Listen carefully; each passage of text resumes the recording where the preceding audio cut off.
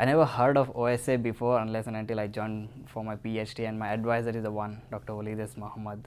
So he's the one who suggested me about OSA and then uh, we spoke with our friends and then we started a chapter. The first major impact was like in having an invited speaker. Uh, first we had a talk with uh, Dr. Arti Agrawal. She is one of the reason, the one who showed me like uh, the difference between theory and engineering part and how they are like uh, entanglement that difference I mean like they're so close without theory you don't have engineering without engineering like you don't prove theory.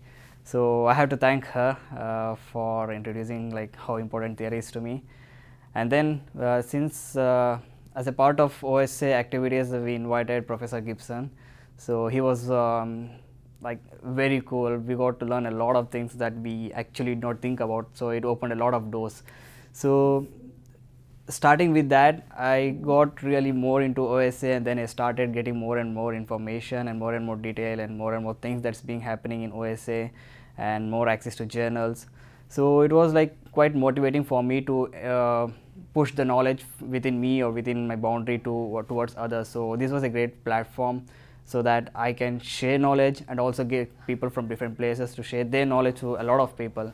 So for me, I feel like it's very much important those who are into science, especially into optics and electromagnetics, getting into OSA.